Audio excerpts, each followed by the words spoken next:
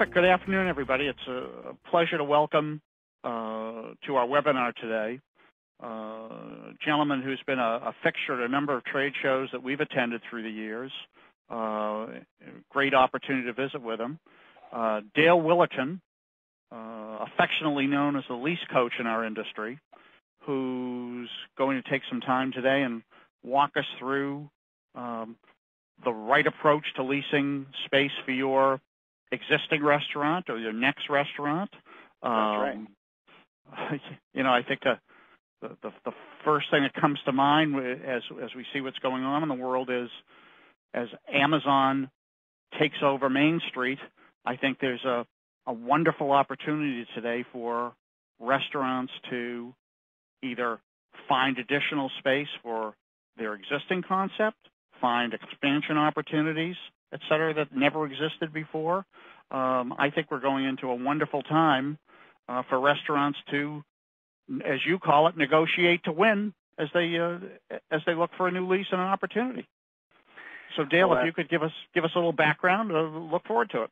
Well, thank you, Fred. You know, it, it was I've been looking forward to this webinar for a long time because Total Foods is really one of my favorite magazines, and we bump into each other once in a while at all of these restaurant shows. And right, and I've I've got a real passion for training and helping and coaching the the restaurant tenants across the country. So, you know, today we're, we're gonna we're gonna focus on negotiating to win because the the truth is, Fred, a lot of restaurant owners they're they're such nice people that they're simply negotiating not to lose.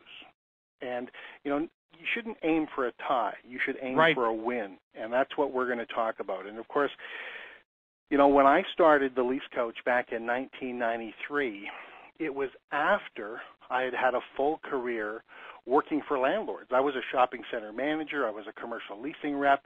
It was my job to find tenants, you know, sign them up to leases, uh, manage them, collect the rent, and uh, uh, unfortunately, if they didn't pay the rent, Fred, it was my job to evict them. So right. I spent a lot of years on the landlord side, and then in 1993 came to my senses.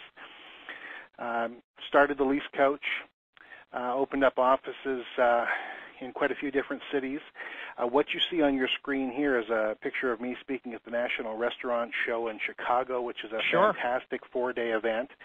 But Fred, you and I are no stranger to the the shows that are up on the screen. We just finished the California Restaurant Show. The the Florida Restaurant Show has been rescheduled, which was I think a first about 16,000 right. people are going to be, you know, going in two weeks instead of uh, two weeks ago, thanks yep. to um, Hurricane Irma. And we've got the New York Restaurant Show coming up that I'll be speaking at.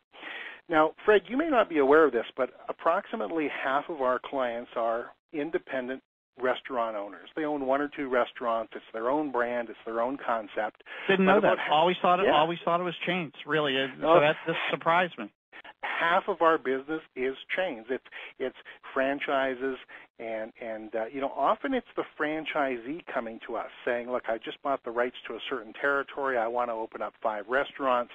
And you know I've gone to Nashville to do you know real estate training for Dairy Queen, and I've done all the Baskin Robbins training through um, through California for Baskin right. Robbins franchisees. So it's a lot of fun working with the franchise chains. Now, as a special uh, perk, anyone listening to today's webinar, if you've already registered for this webinar, that means you qualify to get a uh, complimentary autographed copy of our book mailed to you.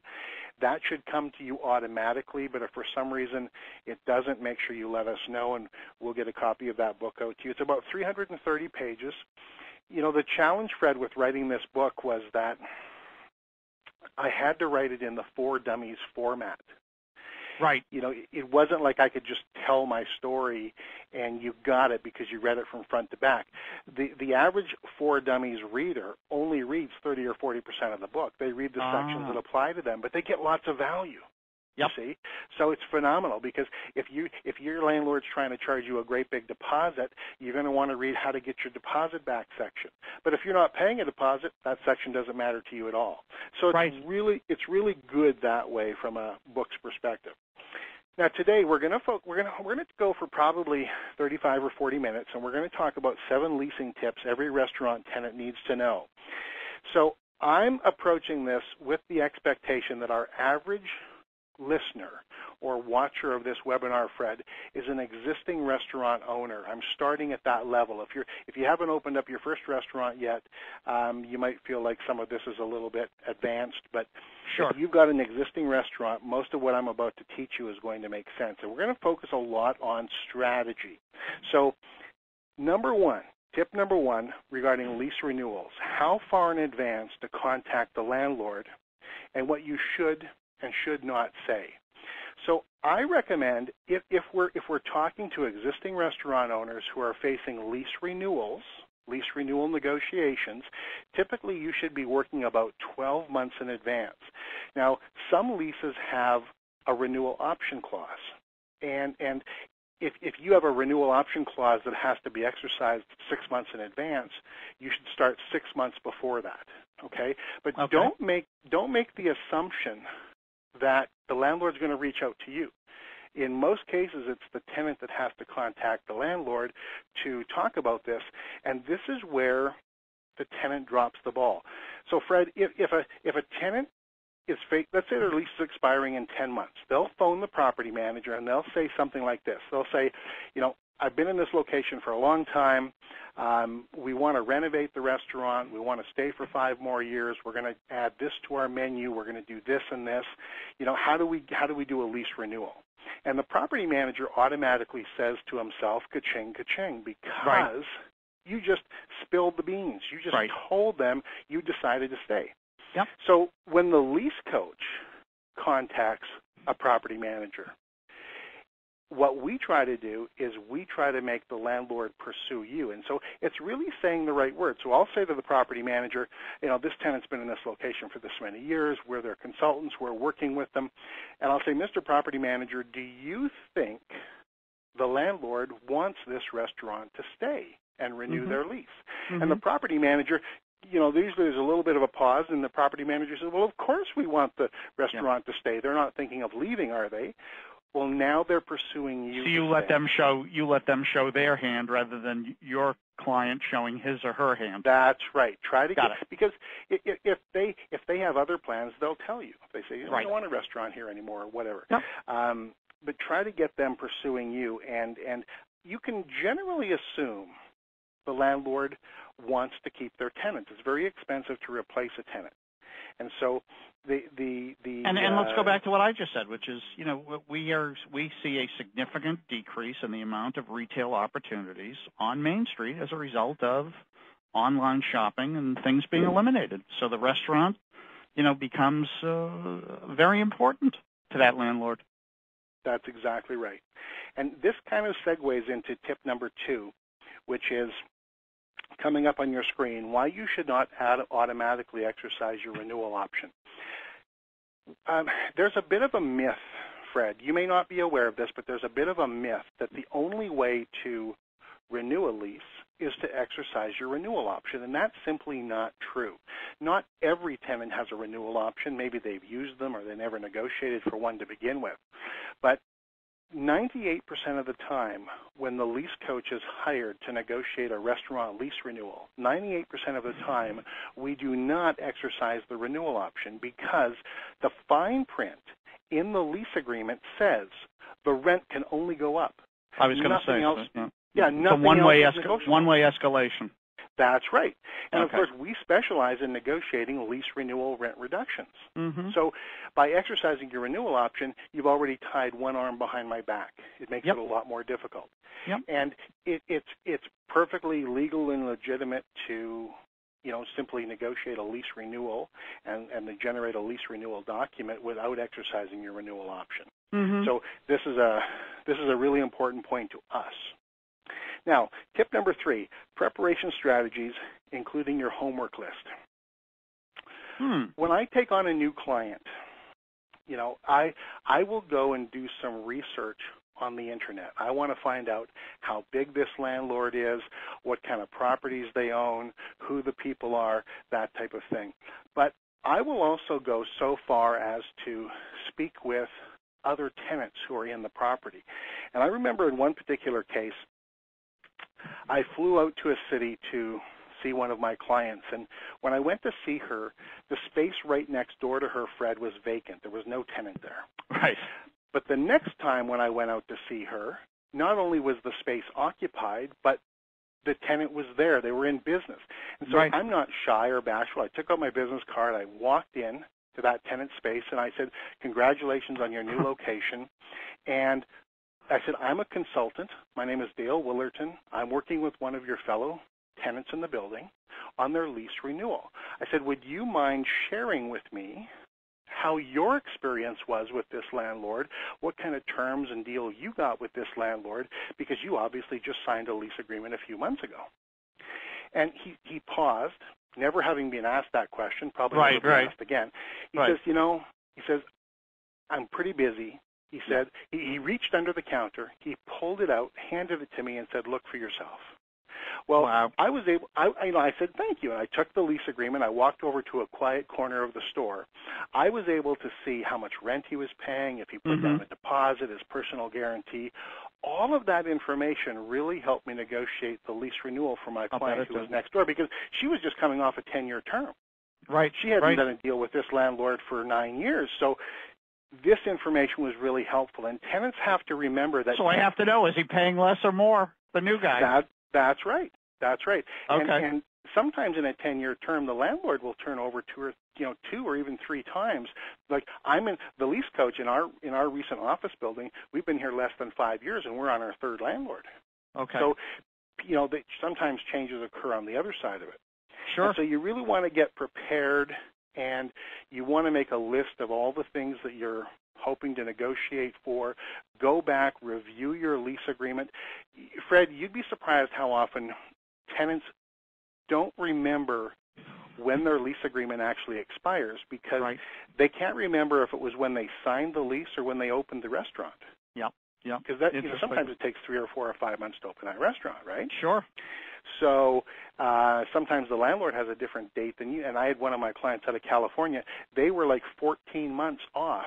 They said our lease expires on this date. I went to the landlord. The landlord says no, it's 14 months after that. Wow. they were they were shocked. Yeah. You know, they were shocked. So you've got to Well, get all hey, your look, ducks in a it's row. it's very easy to get busy doing doing doing every day, and you know this That's like right. this gets slipped under a cash register, and you kind of forget right. about it. When I used to be a shopping center manager and I had 85 tenants in the property, Yep. I knew what every single tenant was paying for rent, Fred, because I had that rent roll. Right. The tenant doesn't have that. Right. The, t- the tenant is really looking through a, a pretty narrow viewpoint. But Absolutely. The landlord knows what everybody else is paying and when their leases are expiring. Yep. And if if uh, if your neighbor, you know, if you're going into a property because you want to be there and because there's a grocery store, you don't want to find out that six months after you open your restaurant, the grocery store moves out, Mm-hmm. right? Because you wanted that anchor to be there. Yep. So, all right, let's go on to tip number four, how to create competition for your tenancy so that you can reduce your rent. Now, this applies to whether you're negotiating on a lease renewal or whether you're negotiating on a brand new location. It's the same strategy here. And the strategy is to pretend you can't stay in your current location and find alternative locations. I remember uh, Vincent came to me. He had, this was his story, Fred. He he had bought the business two years ago. Yep. He was paying twenty-five dollars per square foot in rent. The landlord wanted to raise it to twenty-eight dollars per square foot. Now, Vincent was was doing the right thing. He had just attended one of my half-day workshops, but then he came up after the workshop and he said, "Can you help me with this? I'm I'm, I'm a little bit too close to it. I'm nervous." Right. And I said, "Well, you know, I can't guarantee you specific results, but I can Mhm. certainly get the job done for you." So Sure. I said, "Vincent, if you had to move your business, where would you move to?" He said, "Well, I'm not moving. I told you I just bought it two years ago." I said, "I Yep. know, but if you did If move, you it, where would to. you move?" Right. He said, "I'm not moving, Dale." And I finally, the third time, he said, "Well, I guess I'd move to that plaza over there or that plaza down there." Right. That's what he said. Yep. I said, "Okay, so I'm going to approach those plazas." Yeah. And I'm let's going take a to let's take a walk. That's right. Yep. And you know, both landlords wanted Vincent to move his business into their plaza. Mm-hmm. So I got a proposal from both of them. Yep. And with that information in my briefcase, I was able to walk back into Vincent's business, into Vincent's landlord office, and negotiate his lease renewal with confidence. Now, we didn't renew him at the 25 he was paying. We didn't renew him at the $28 per square foot the landlord had proposed. We renewed Vincent at $10 per square foot for eight years, and he was shocked. Uh, yeah. That saved him twenty. His rent went down twenty five hundred dollars per month, and he said, Yep. "Dale, how could they be that negotiable?" And I said, "Well, frankly, I'm surprised they were that negotiable too. Like I kind of, Yep. I kind of smelled a victory, but I didn't know it was going to be that victorious." Right. And of course, on- he's hired us several times since then, and I'll bet. and the, the the point is that you've got to you've got to make the landlord work for your tenancy. Now, if we talk about you're open, let's say you're opening up a new location, and this one a franchise. Someone buys a restaurant franchise and they've got a territory. The mistake they make is that they they fall in love with one location and forget to create any competition. They forget to pick decoy locations. And so they'll call me up and say, "How come I'm not getting anywhere on this deal?" And I'll say, "How many sites are you negotiating on?" And they say, "Just one." mm-hmm. I say, "Well, you have no leverage. Right. You have no right. leverage, right? You, you've got to make the landlord earn or re-earn your tenancy." And so they kind of get that, but So it's like the, so like it's like the emotion needs to go from falling in love with a specific location. That same emotion has to be moved into creating competition with multiple uh, That's right. potential locations. And- And, and, and look, it's hard for people to, to to grasp, but that's really Mhm. what this is. Even if you really, really, really love one location, you don't have to tell anybody that. And I, Right. I kind of give, I give a bit of a warning that you know tenants should realize anything you share with the real estate agent is going to find its way to the landlord. Yeah. So be careful. It's only going to cost you. Mm-hmm. Nothing good's going to happen Exactly. from it. Exactly. All right, let's go on to number five. Whether to Sure. involve a broker or an attorney. Yep. So, quick tutorial. There's two types of brokers or agents. A broker and an agent, as you know, Fred, is pretty much the same thing. Mm-hmm. And if if you drive around town, like I'm going to be doing site selection for one of my clients in Tampa fairly soon. Right. And so I'll drive around Tampa and I'll see four lease signs on various buildings and it will say for lease call our real estate agent. That's the listing agent. Now, the listing agent has persuaded the landlord to give him the listing on the property. The mm-hmm. landlord is going to pay a commission if the listing agent finds a tenant. And the landlord's expectation is the listing agent is working for him and will get him a high rent, a big Right. deposit, a personal guarantee. After all, it's a thirty, forty thousand dollar commission. The landlord wants a good tenant, Right. On a good terms Yep. for the. So, but so so I say to people. So what I like to call a, he's going to negotiate a what we call a win-lose deal. That's right. That's right. Okay. Now, if it, it, I when I give my seminars, I take a little survey and I say to the to the restaurant owners in the room, I say, if you were if you were having a legal dispute with your landlord, would you share their attorney or would you share their lawyer? And everybody, of course, we wouldn't share their lawyer. And I said, well, why would you share their agent? Why would you share the agent who has a for lease sign on the building? He, he's supposed to help the landlord. Now, so the the next thing the tenant automatically thinks is, well, if the landlord's got their agent, I'm going to get my agent. Mm-hmm.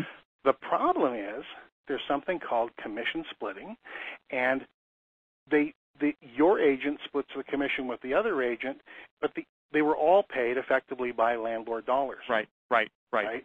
So now you got And two so- people to throw you under the bus instead of one. Well, that's very possible. You know, a lot of people think it's a conflict of interest Yeah. for, for this to go on, but it's perfectly legal. By the way, it's legal. Now, Okay. I, I want, I want, I don't want to beat up on the on the real estate agents who are out there. I, I want, you know, I don't think the real estate agent is trying to hurt the tenant. I'm just not convinced they're trying to help the tenant. Right. And if right. you think the agent is trying to help you, you might be mistaken. Now, up on your screen, you can see some leasing incentives for agents. So if the agent convinces you to sign a lease, he gets a hot tub or a motorcycle or a Uh, vacation, right? yeah. Now, this is on top of his regular commission. right. If if you look at the next slide, now this is a flyer that was sent out to all agents and brokers Yeah. about outside agent, the agent you think is helping you. It's called the mm-hmm. outside agent. Yeah. And it says to all outside agents, in addition to full fees, there will be a $5,000 leasing bonus given to the outside agent who closes a deal prior to July the 1st. Yeah. So if you're wondering why the agents are trying to convince you to do the deal, it might be because it serves them more than it serves you. Right. Right. Now, here, here's another flyer, 8% leasing commission on the base rent to the agent, but the agent also gets a trip to Las Vegas as a bonus. Well, I think the tenant should get the trip to Las Vegas, not the Right. agent. right. okay. Right. But these kind of leasing incentives are out there, and if you're taking your Um, advice, you know, from uh, from the wrong person, it can lead you in the wrong direction. Here's a whopper: uh, Yeah. the agent gets a brand new BMW if they can get you to sign a lease agreement. So Yeah. there's a lot of reasons for the agent to say sign the lease, sign the lease, sign the lease. Yeah. Sometimes it takes someone like the lease coach to come along and say, hold on. right. Have you do you realize like there's a lot of reasons, Fred, we will stop a tenant from signing a lease. The, one of the top reasons is the space is too big Mhm. or too small Mhm. right? And the tenant said, "This is the last space they have left." Yeah, but you don't. If you don't need 3,600 square feet, you don't Right. need 3,600 Right. square feet. This you're paying your rent per square foot. That's their problem, Right. not your problem. Right. That's right. So there's Yep. a lot of reasons we will put the brakes on. Um, you you just can't afford to get the lease wrong because you can't. It's not like buying a car. If you buy a car and realize you bought the wrong car, you can sell that car and buy a different one. You don't quite have that much flexibility with a commercial Right. lease that's five Right. or ten years in length. So I wrote this article called "Realtor Friend or Foe." We'll send a copy. This, this appeared in one of the franchise magazines. We'll send a Sure. copy along with the, the book to everybody that comes on. Great. Let's get back to our tips. Tip number six: Why we ask for more than we want or need. So, Mhm. a franchise tenant calls me up and says, Dale, I- I've got three locations and I want to open three more in the next couple of years. He said, Will you do all of my site selection? I said, Of course I will. That's why we exist. So I go out, and about three weeks later, I come back to him with a list of locations. Now, he had given me one instruction because I knew his business, I knew the type of space he wanted, but he said, Dale, don't show me any locations where I can't get at least three months of free rent. That was his minimum requirement as an inducement. So I came back to him with the first location. And I said, I'd really like you to do this deal. I've crunched the numbers. I've met the landlord. Here's a proposal from the landlord. It all makes sense. But I did not get you three months of free rent. He said, I don't even want to look at it. I said, hold on, hold on. I said, I got you 12 months of free rent. It was a Yeah. five-year lease, Yeah. the first 12 months free. He said, how did you get me 12 months of free rent? Yeah. I said, I asked for 18. I asked Right. for 18 months of free rent, Fred, and I got 12. Did I win Yep. or did I lose? Yeah. See? Yep. He he would have asked for three months of free rent and gotten Right. two or one and thought he did okay. Yep. Yep. Commercial real estate is a very negotiable forum. They landlords expect you to negotiate. You have Mhm. to ask for more than you need or want, Mhm. and uh, you know, and, and go from there. And this, and this applies to whether it's a tenant allowance, which is Right. money that the landlord gives you as an inducement to help you build out your restaurant. You don't have to pay it back. It applies to free rent, things like that. So you you always want to and and this is really easy for me to say, Fred, because I'm not emotionally involved. I'm I can be very objective. I can analyze the situation. The more the tenant loves the location, the less inducements they'll ask for because they don't Right. want to lose it. Right. Right? Right. But you Right. rarely lose a location because you asked for too much. They Mhm. just say no. Mhm. Just say no, and you. But I, but you just brought up something too, which is really important, which is there's a tendency in an industry like this, um, somebody falls in love with their concept, falls in love with the food that they're going to serve. So by Mhm. nature, they fall in love with what appears to be the dream location that they must right. have. So it's sort of the next step in a long emotional uh, list, uh, totem pole, if you will. That's right. That's Yeah. exactly right. Uh, tip number seven: Which important lease clauses need to be renegotiated if you're selling your restaurant? So Huh. I do a lot of seminars on selling and buying a restaurant from a leasing perspective because Mhm. if you're selling your restaurant, you're either going to assign your lease agreement to the buyer or you're going to assign the lease agreement and the landlord's going to add a couple years on. Or the third choice is the landlord's going to enter into a brand new lease agreement with the buyer of your restaurant. So there's a couple different ways to, to skin that cat, if you will. And so um, when, when, you're, when you're buying or selling a restaurant, you want to negotiate the um, for more renewal options. Okay, mm-hmm. you want to make sure that you've got longer term that you can stay there. You want to, to renegotiate the assignment clause, um, the deposit clause, the personal guarantee clause.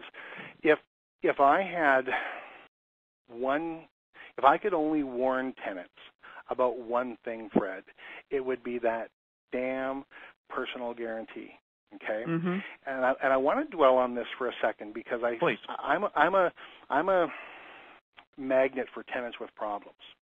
Mm-hmm. And so the, the landlord says, well, I, I need a personal guarantee, and I, I, you know, in case you don't pay the rent, or anything like that. And so one of the examples I use, I usually when I'm speaking at a at a restaurant show, and I'll say, now who, who here sells muffins in their restaurant? I, and somebody will put up their hand, and I'll say, okay, if I come into your restaurant and I I buy a muffin and uh, I I order a muffin and a coffee, and I eat them and I drink the coffee, and then I get up and leave, you're pretty much screwed. You can't get that money from me. You you you've lost you've lost that, right? And they go, yeah, right. I've lost it. But I say, you know, if you if you run a restaurant for four years and you pay your rent for four years, but suddenly you can't, there's a change or there's competition, yeah. and you can't pay your rent anymore, does the landlord lose the space? Of course not. The landlord gets the space back. Mm-hmm. Usually the landlord gets the space back in better condition than he gave it to you in. Mm-hmm. So it's not right for the landlord to say, I need a personal guarantee in case you don't pay the rent. Because right. the minute that your restaurant closes, they're looking, and sometimes sooner, they're looking for a replacement tenant. Mm-hmm. And they'll mm-hmm. find one. And if yep. you if you agree to pay a two hundred thousand dollar penalty to get out of your lease, and the next month they sign up a new tenant, you're going to feel like a fool. Right. So right. personal guarantees are really dangerous. You've got to negotiate some of those things. Don't let your spouse get on the personal guarantee. You mm-hmm. know, if you do have one, and and they can really burn down over time. So there's a lot of. Uh, so how often things. do you see how often do you see that as a deal breaker in in the world that you live in and that you travel in? The only time it's a deal breaker is when the landlord has entered into an agreement with his mortgage holder that all of his tenants will give a personal guarantee. See, okay. the landlord okay. doesn't need a personal guarantee. So that's guarantee. what you need to know. So that's what you yes, need to know. That's okay. right. That's and so sometimes the landlord will say, I, I can't do a lease with you without a personal guarantee. All right. So this but has nothing to do with you. This has to do no, with what his deal is. Okay. That's Got right. It. It's a re- it's a reflection of his um, right of where he is of where he is, not necessarily yep. where you are. Yep. Because uh, we're doing deals with tenants that are spending, they're taking raw space. Like we just we went out for lunch, Fred, a couple of weeks ago to one of our clients. They've opened up their third Brazilian steakhouse in four years called Pampa. Okay. And they've used our company to neg- do their site selection, negotiate all their leases, and you know they took raw space and invested hundreds and hundreds of thousands of dollars. I mean, if they went out of business, the landlord could actually rent their space to another restaurant for higher rent mm-hmm. because the infrastructure is already built. Right. right. right. Everything's in there. Yep. So, you know, it's not always bad news for the for the landlord. They don't always get get mm-hmm. uh, so mm-hmm. so they really have to be careful. Now, okay. the bo- the bonus tip that you see at the bottom of your page is get some help from a professional lease consultant. We we if you look back on number 5, we really didn't talk about the attorney, okay? People understand that the lease coach is different than a brokerage. At the lease coach, we work for the tenant and the tenant pays our fee. Tenants understand that brokers work for the landlord and the landlord pays their fee. But what mm-hmm. about the attorney? And I was speaking at a franchise show in Washington, D.C., had about 75 virgin tenants buying franchises, and they were taking my workshop. And I said, um, uh, any questions? And one fellow said, well, do I, do I, he, he said it this way, he said, I need a, uh, real estate lawyer to review my lease, right? And I said, well, why do you think you need a real estate lawyer to review your lease? And he said, to make sure it's legal. And I said, well, you know, the legality of your lease really isn't in question. They're not sending you, these are professional landlords for the most part. They're not sending you leases filled with loopholes. Mm-hmm. This, this lease is perfectly legal. It's not about the legality. I said, if you hire a lawyer who doesn't know what market rents are and you know doesn't have a lot of experience in this field a lot of them are really just working academically Right, right. you know sometimes right. it's one lawyer in a large law firm they've never yep. even signed a lease for their firm yep right yep it's so a, it's a, a boilerplate piece and and and that's what you end up with that's right, and so often, and I and I don't want to. I, I have nothing against lawyers. I don't want this to sound right. negative, but tenants will call me up and say, "My lawyer never explained that. He never told me in so many words mm-hmm. this could happen and that could happen." And I said, "But mm-hmm. but he made sure your lease is legal, right?" "Oh yeah, it's legal." Yeah. But he never warned me that you know um, about my assignment clause or about this or about my exclusivity yep. clause. Okay. Yep. So um, if you you know the only tenants that really come to the lease coach for help are those that don't want ex- they don't want expenses. I don't want expenses. Fred, you don't want expenses in your business, but we're all willing to invest in our business. Right. And those are the types of tenants that come to us and say, look, before I spend three hundred thousand dollars opening up a restaurant, I'm going to spend a couple thousand and mm-hmm. get some coaching from the lease coach. Yep. So what you're seeing on your screen here, these are a couple of really swell guys and, I'll, uh, and I'm standing in the middle, and I'm yeah. holding my second book because my For Dummies book was actually my my third book. What, what I'm okay. holding is my second book, and what on the on the left we've got. Uh, oh, here we skipped a slide. There we go back. Okay. We may have these. Oh well. On the left is Mark Victor Hansen, and on the right is Jack Canfield. They are co-authors of Chicken sure. Soup for the Soul. Soup. Sure. So I went to Costa Mesa, California. I before I had written my book, and I thought, you know, I better, I better. Th- there's something to this book business. It's not good enough just to have the knowledge. You've got to get that. You've got to. And writing a book doesn't do anybody any good if you can't get it on a bookshelf. Mm-hmm. Right. Right. So I went. I went to Mark Victor Hansen's writing boot camp in California, and he told everybody that 25 publishers had turned down Chicken Soup for the Soul. Well, Chicken Soup for the Soul went on to do 120 million yep. copies, okay, yes. on various various covers. And I thought, well, who's going to publish my little book on real estate? So I made a very earnest uh, pledge to God, and I said, God, if you get my book published and into bookstores, I will donate all royalties to church and charity. Hmm. Now, I hadn't written the book yet, so I started yep. to write the book. I started yep. to phone publishers. I started to do my homework. Nine months later, my first book was literally in the bookstores. Wow. Okay? And since then, and see, this is what I mean about getting some professional help. Mm-hmm. You know, we all, you know, everybody needs professional help. You I practice too. what you preach. That's right. And you know, Fred, the blessing is that I'm doing exactly what I should be doing with my career. I'm 55. I'm mm-hmm. at the top of my game, and I've been able to um, to uh, sponsor missions trips. I've been able to uh, help people with my royalty money. I've been able to replace the the library in my my previous uh, church. We did yep. a new library, so it's a real blessing for me, and right. I'm really passionate about what I do because mm-hmm. this is not a job for me. This is a calling. Mm-hmm. And that's and that's you know the side that my bread is buttered on. So right. I want I want I'm just going through my notes here to see what I want our, our readers, if you're seeing on your screen, remember you're going to get a complimentary copy of our book, 330 pages. It is available mm-hmm. in Barnes & Noble as well. Now, Fred, what you're seeing on your screen is the most common question I get asked by restaurant tenants. What will it cost me to hire the lease coach? And the answer, I think the I think the question really ought to be, what will it cost me not to hire you? Based on the you're, stories that you just you're, told. You're like a mind reader. There you no, are. What really. will it cost you if you don't hire the lease right, coach? Right, Because right. they leave so much on the yeah. table and they make yeah. so many fundamental mistakes and they they they, they listen to pe- people tell them things and instead of getting those things put in writing they forget about them until they wonder, hey, I thought I was supposed to get parking. Right. I thought I was right. supposed to have storage what happened? space. What, what happened? happened? Nobody wrote it down for me, right? So right. what what we do, you know, um, oh, here's that one I was uh, mentioning to you about uh, Pampa and uh, wonderful clients. Like I said, they've opened three restaurants in four years. Their last restaurant was 8,000 square feet. So as you can imagine, it's not a small no. venture. No. And, and we're uh, we're doing a lot of work for them as they expand their chain. Um, this next one is from a from a pizza client. He's he's a franchisee. Notice at the bottom it says uh, Jeff Grandfield, who's my partner, Jeff Grandfield and co-author of the book, renegotiated right. uh, his lease, the rental rate, his upcoming lease renewal, resulting in a savings of $100,000 over 10 That's a million bucks over 10 years. Yeah. Well, no, $100,000 over 10 years. Right. Okay. Okay. Yeah, so, so, but the point is, we charged him about five percent of that.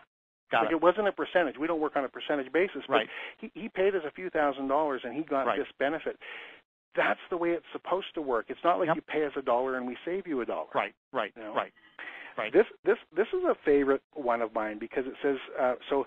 Darren owns seven of these restaurants. He's a, he's a franchisee, and he says the lease coach negotiated one of our restaurant lease renewals and saved us thirty thousand dollars per year. On top of the financial benefit, Yep. Dale's also a nice guy. Now, we did this mainly by negotiate renegotiating his percentage rent. Because if you're a really successful restaurant owner, you're probably paying percentage rent. If you could lower your Mhm. percentage rent, you'd make a lot more money. And that's what Mhm. we did for him. Now, what's interesting is the way he thanked us. So after paying our fee, he thanked us by inviting us back to his home city to speak at the Restaurant Association event. Because Nice. when you do good things for people, they do good things for you. Absolutely. And that's really what it's all about. So Reap reap the so, reap the seeds that we sow, as they say. That's right. A couple of really smart guys out of uh, Orlando that Yeah. uh, wanted to open up their first restaurant, hired us to do their site selection, Yeah. just uh, you know, going gangbusters. But Fred, what you see on your screen here are the the services that we provide. We do lease renewal, rent reductions, Mm-hmm. new location leases, sites. I've gone as far as Hawaii and and New York and Florida to do site selection. Um, coaching and consulting. If you want to buy your building, we'll help you with that. We do a document review, a 39-point lease inspection that I think is better than anything I've ever seen a lawyer do because it speaks to the real concerns and future problems that tenant is going to see. It's not about the legality. It's about, you know, will will this location serve me for the next five, ten? So, so give it. 20 So, without going into the third, all 39 points, take a couple of things that you would never think of that are shocking and amazing. exclusivity clause. So Okay. here's here, here's a real life example for you. We get a call from a Ben and Jerry's franchisee, and he says he says your company, the lease coach, put on a webinar for Ben and Jerry's, a leasing webinar a while ago, and that's how I got your number. And he Mhm. said, I, "Here's my problem." He says, "In my lease agreement, I have an exclusivity clause, but the landlord called me and said they're going to put in a frozen yogurt store about three doors down from me. Now, that's going to cut into his business. I eat a fair bit of ice cream. I eat a fair bit of frozen yogurt, but I don't eat them in the same day. Right, cut into right. his business. Right. And I said, but you, you're telling me you've got an exclusivity clause. He said, that's right, and I can't figure out how they can do this to me. And I said, well, send me your lease. So he sends Yeah. me his lease. And sure enough, right there in his lease, there's, you know, because they're all in headings, it says exclusivity clause. But this is what it says, Fred. It says the landlord will prohibit any other tenant from selling frozen desserts in the in the plaza. Period. Any other exist- However, any other existing no, no, tenant? no, any, any, any tenant, any tenant, Okay, any tenant, any yeah. tenant from selling frozen desserts in the plaza. Period. However, Yeah. if the landlord does allow another tenant to sell frozen desserts, Ben and Jerry's has the right to terminate their lease. And I said, well, that's not an exclusivity clause. That's a right of termination clause, right? right, right. And he, he said, he Wow. said, I don't want to terminate. He said, I just spent $180,000 opening my Ben and Jerry's last year. Right, right, right. I don't want to terminate. I said, I know, but I said, who helped you with this? He said, well, the Yeah. franchisor missed it. The, Yeah. My lawyer missed it. Nobody explained to him that this wasn't what he thought it was. Right. Okay, and we would have checked that. You know, uh, you, you know how this 39-point lease inspection started. I've got a couple of great daughters who I've bought several vehicles for. I really Right. have some wonderful children, Yep. and I buy them a vehicle to help them get started.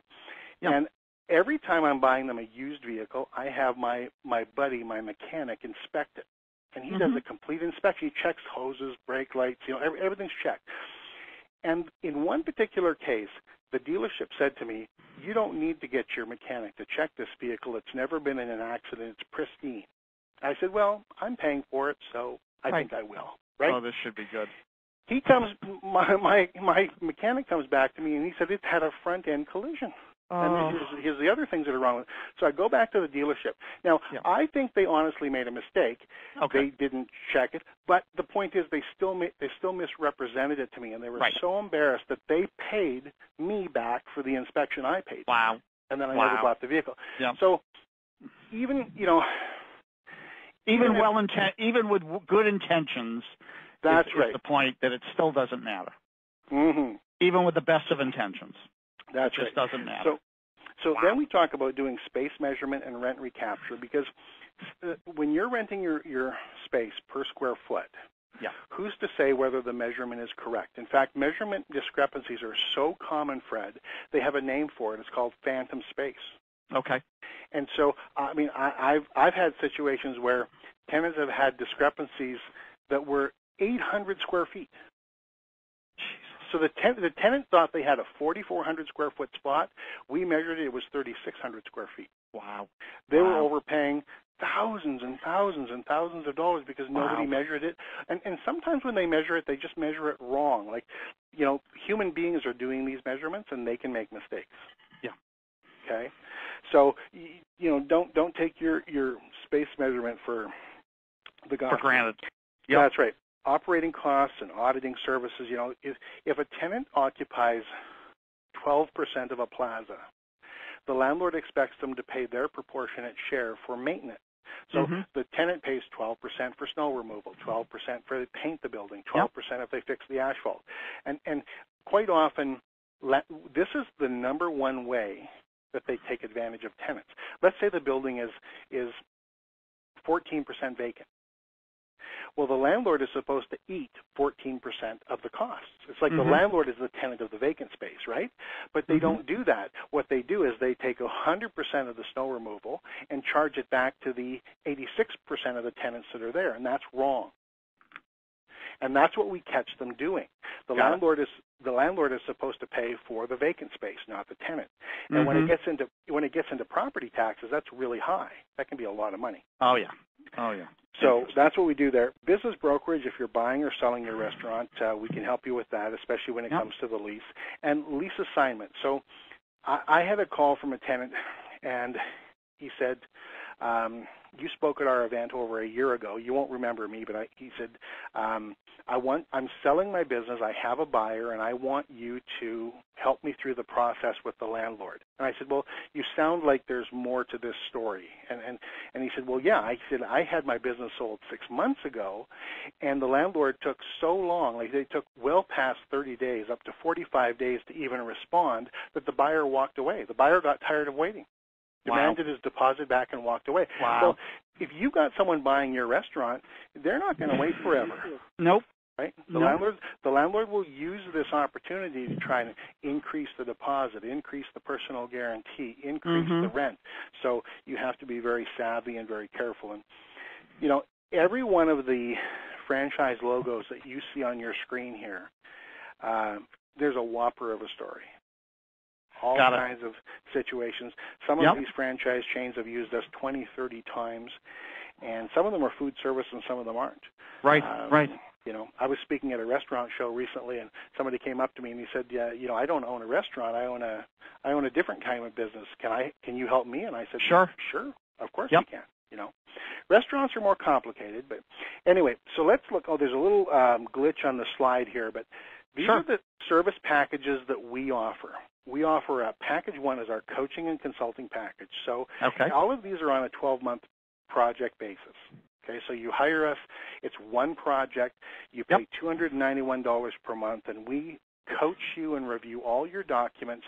We're effectively your mentor, and we're the ones explaining everything to you and sorting Sure. out the good from the bad. Yep. Package number two is the negotiating package. It's $541 per month for 12 months, and we are taking charge. We're now doing the negotiating for you. And Mhm. Fred, I thought when I started the Lease Coach back in 1993, I thought package number one would be our most popular. It's our least expensive. Everybody needs some coaching and some guidance. Everybody needs their document review. But most of our clients want package two where we actually do the work for them. And it's because there's so much money at stake. They only do it Yeah. every five or ten years. Yeah. And package one is a little bit like me telling you how to swing the golf club. Package Yeah. two is me swinging the golf club for you, and the results are going to be dramatically different. Right. And all, Package- and what it and, and also what it tells me is that when somebody comes to you and is looking for you, there's an issue. There's a problem. there's something going right. on. You know, That's you know, right. you don't wake up in the morning. Unfortunately, you know, it's like the pay me now, pay me later, with the old muffler thing. You don't wake up in the morning and go, gee, you know what? I think today I'll look at my lease. I mean, there's something going on, That's right. That's and right. you're responding to it. And so then we've got package three, which includes site selection. Now, uh, site selection has to be done boots on the ground. It's not done by just going to websites Right. and things like that. Right. We literally Right. fly to that location, Yep. rent a car, spend a couple days, and then we take care of the entire leasing process. Now, the document review, which you can see at the bottom, that's included in all of those packages, but sometimes a tenant comes to us and they're so far advanced in their deal that they say, you know, we've pretty much got it all negotiated, but I do want you to give me that 39-point lease inspection. And so Mhm. they pay for that, and that's what we do for them. Uh, Mhm. but well worth a, a tenant's money. Now, remember, when you hire the lease coach, there's no time limit. You make we take the project fee, we divide it into 12 payments, and and, and 12 payments is a special for this webinar. Typically, it's six payments because it takes Okay. about six months to do a project. But we wanted to do something a little special. So if, Nice. if you're if you're coming to us and you say, "Well, I thought it was 12 or 6," well, we'll work with Yep. you. We work on multiple locations simultaneously because we want to create competition for your tenancy. So if you if you're hiring us to do a lease renewal, I'm going to say to you, where would you move if you had to move? Where would you move if you couldn't stay here? I want to make you pick some locations so we can make the landlord earn re-earn your tenancy. Now, you make progress payments while the work is being done, and most importantly at the bottom, the lease coach takes no payment from the landlord. So if I tell you something, you Mhm. can bank on it because I have no other master but the tenant. Right. Right. I'm not Right. trying to serve anybody, not trying to please anybody else.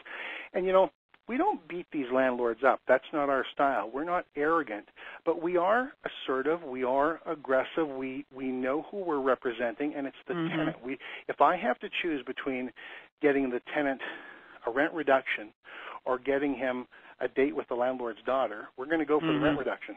Mhm. Okay. Mhm. It's it you know there's you can have there's you got you probably got lots of friends. If your landlord's Right. not your friend, I don't want your landlord to be your enemy, but I Right. don't want you to be. You've got to look at this. If your rent is too high, that's the number one reason you're not going to be able to sell your restaurant. Mhm. So Yep. we've got to get your rent in shape. Okay. So we're we're going to wrap it up here. Typically we would do a Q&A session, but this this webinar is being pre-recorded.